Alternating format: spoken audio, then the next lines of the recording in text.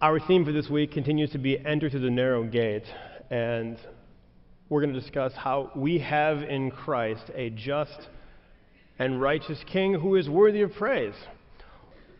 I want you, before you snuggle into your hoodies and go to sleep, just listen for one second and think about what conflicts you have in your life right now.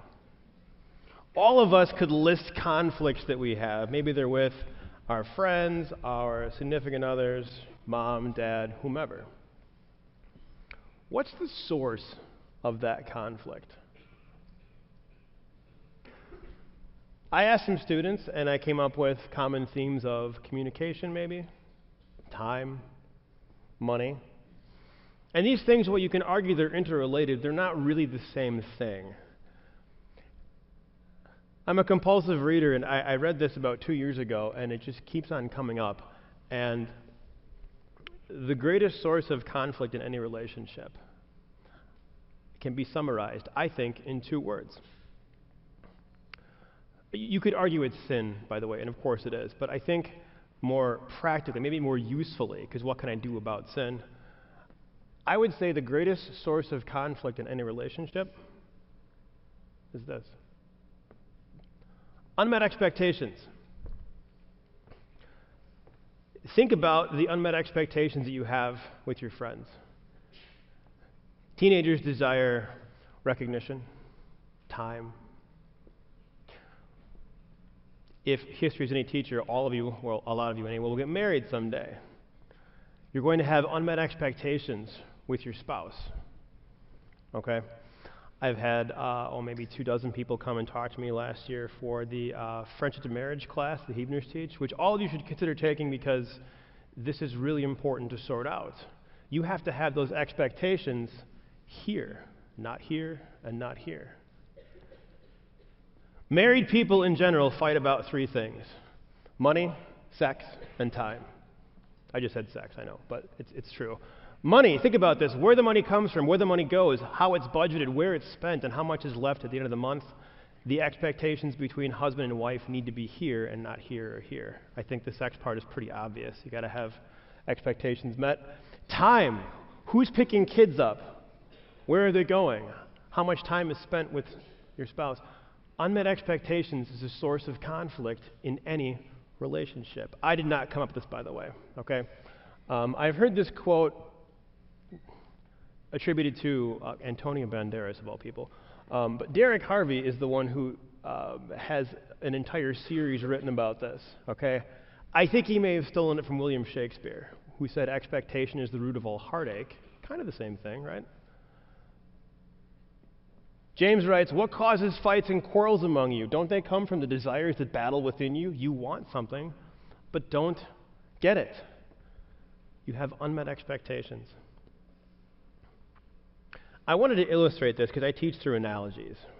And I'm going to use my family, not my wife, to illustrate this to you. This is my family. We took this picture in Tennessee. Uh, there is, see my wife Erica, my son Ben, Theo, and Addie. I want to focus on my kids for a second if I could. The older two, Ben and Addie, are right here. Um, ben is nine, Addie is five, and our little guy Theo is two. Okay? And I, I love all of my children fiercely.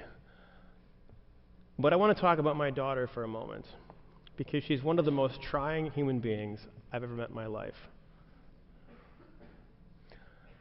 Benjamin is my wife's son. Theo is two, and so we'll see what happens with him. But Adeline is definitely my daughter. She is the payback that my parents promised me when I was young. She's my little shop buddy. If I'm in my wood shop, if I'm under a car fixing it, she will crawl under there with me, even in winter. And so we begin a day in the life of Adeline. If you look very closely, this is my shop, you can see her. She's crawled up on my welding table. And I thought this was adorable because she stayed there for over half an hour. Unmet expectations. I noticed that she had a hammer and she was hammering something metallic, and I wondered what she was doing. I said, Honey, what are you doing? She's like, I'm dinking this circle. I said, Dinking. That's an interesting word. And I walked over, and she had a $75 circular saw blade, which has carbide teeth. And she's very delicately taking the hammer and crushing each one of the teeth and really enjoying how the metal just turns into a powder when you smack it with a hammer. And I'm like, oh, okay, no, stop, stop. So I got her down and I began cleaning up the mess and I said, okay, I need to occupy this child with something. And so I will set a new expectation for this child. I said, honey, go inside. Okay, she's not allowed to use the stove, but she can use the microwave. And I'm thinking PBJ, right? I said, please go and make lunch. My, what my daughter heard was daddy and lunch, and she thought to herself, well, what does dad like to eat? Okay? Um, and so this is the story of how my grill caught fire. Okay? I was dealing with that and I thought, okay, lunch, bad idea. I wasn't specific enough. I said, okay, what is, what is an innocuous thing I can task this child with? And I said, okay, go inside and do a puppet show with Theo. I got this figured out and cleaned up and saved my pellet grill from being burned to smithereens. And went inside and noticed that my daughter had discovered my wife's nail polish. She had painted herself, and I said, What happened? And she said, Well, in the story that I did in the puppet show, there was a lion, okay? And Daddy, I won, but he got me. And at this point, she can see that I'm not pleased with her, and so she starts crying these big fat tears. And I'm thinking, okay, this is kind of cute, so I should take a picture of this, all right? And she said, Daddy, the lion got Theo too.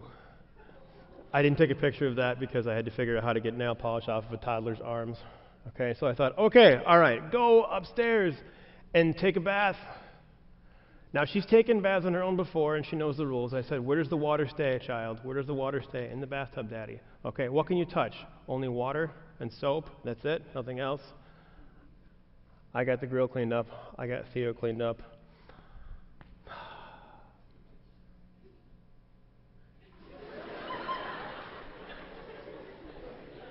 Ordinarily, I would not show tubby pictures of my kids in front of a thousand people, but I think this is probably pretty safe. And her response to me was, Daddy, there's no water on the floor at all. Okay, never mind the fact that um, you just killed the bathtub. Okay?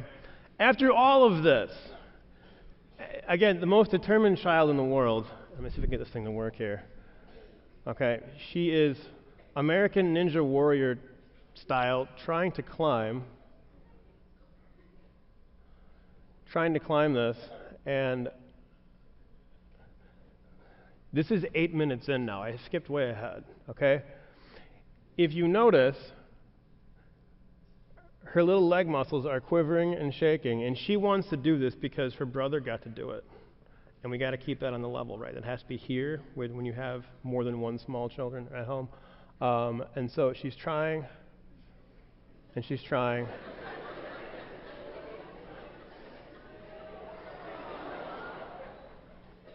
Okay? And she's actually fighting back tears at this point, okay?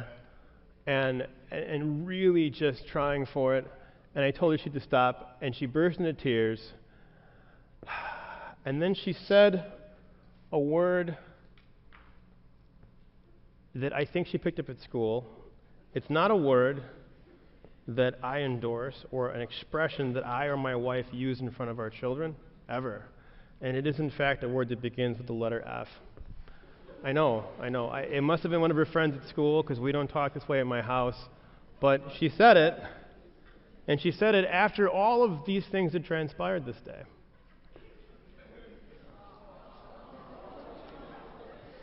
I know. That's not fair. And I thought, fairness? Are you kidding me, child? You, you could have just destroyed like a $1,000 worth of stuff and gone through all of this, and and she's going to sit there with her bare face hanging out and tell me that, that bedtime isn't fair. Consider for a second what do you call unfair in the context of the expectations your Lord has for you? I've heard kids say that several things are unfair. Okay, parents, teachers are unfair, people who have authority over you whomever that happens to be in whatever context the cops, your boss, whatever it is. Unfair. Well, I would subscribe to you that, that we have pretty seriously violated God's expectations in the relationship that we have with Him. Okay? I ought to make this big enough. Um, well, first of all, but do not eat from the tree of the knowledge of good and evil. And you're like, well, I didn't do that. It's like, well, no, but our ancestors did, and we inherit their sin, right? Um, be holy, for I, the Lord your God, am holy. That applies to us. I haven't done that. This is love for God to obey what He commands. That's not me, and it's not you. And so, each of you has this lawyer like sense of fairness. I used to teach grade school. Grade school kids are like little lawyers, okay? If you do one, one thing for one, you do it for all. Your own personal children are worse, and their memories are deep. Well, what if God applied your sense of fairness with other people to you? How would you fare? Pun intended. So, thankfully, we have a just king. Okay? The sense of justice that our Savior Jesus has is perfect. He demands justice for our sin, and then he steps in to take our place when we could not. We have a righteous king. Christ was perfect where we could not be. Jesus demands perfection from us, and then we can't do it. He does. He lived the life that we couldn't so that we could simply live. I close with this thought. The next time that you are tempted to say that something is unfair in your life, in particular, living with the incredible blessings of being in this place, in this time, in this period of history, all right? Before you complain, take a moment to try to do this. Be thankful. Be thankful that we have a just and righteous king who thankfully does not share in our sense of fairness. Amen.